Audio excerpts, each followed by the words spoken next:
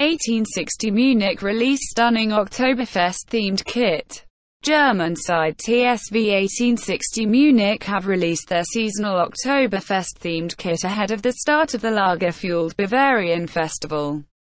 The third-tier club are known for their participation in Oktoberfest festivities, and have made a tradition of releasing unique strips every year.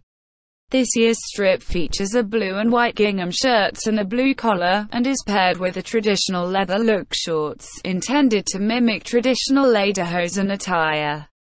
The limited edition strip is currently available for pre-order from the club's official web store for 90 euros, plus postage and packaging.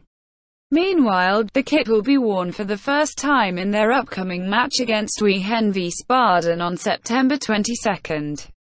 Held annually in Munich, Oktoberfest starts on September the 22nd, and lasts for two weeks until it reaches a close on October the 7th.